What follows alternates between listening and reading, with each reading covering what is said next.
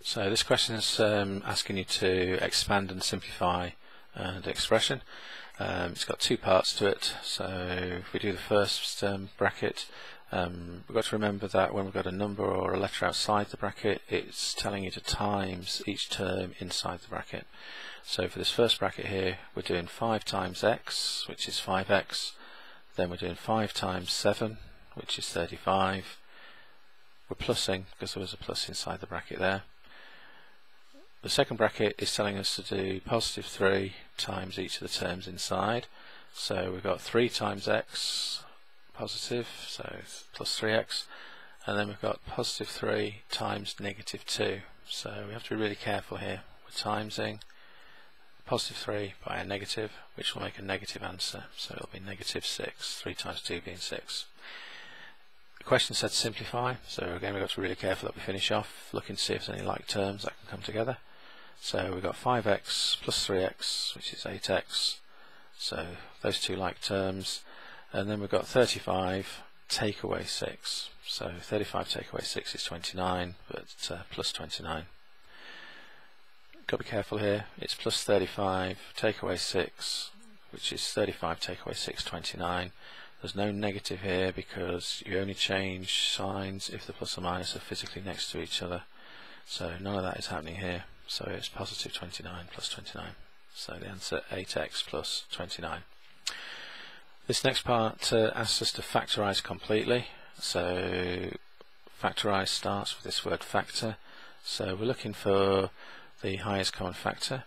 Factorize also means put an expression into brackets with the highest common factor outside the bracket and basically what's left when you've divided through inside the bracket. So let's have a look at the terms and see what's the highest common factor. So we've got 3 and 6, so 3 will go into 3 and 3 will go into 6. So 3 will be the highest common factor of the numbers. Uh, but then we've got to be careful because we've got to look at the letters and see if there's any common factors here. Well, there's an a squared and an a. Well, both of those will divide by a, so a will be a factor.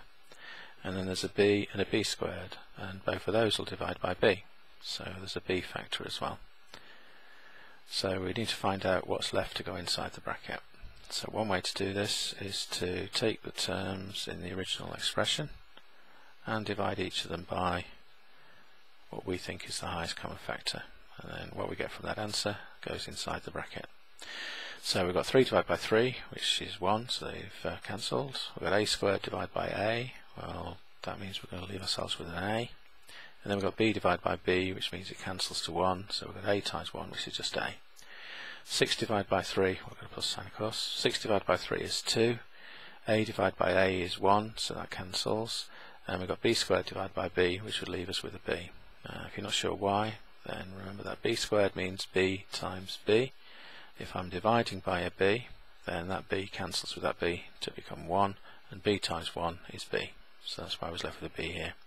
So we'd be putting a plus 2b.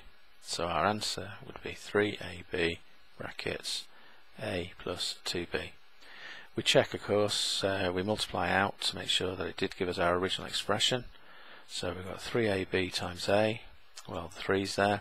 a times a is a squared, and the b's there. 3 times 2 is 6. a times b is ab, but we've got a b as well, so b times b is b squared. So that works.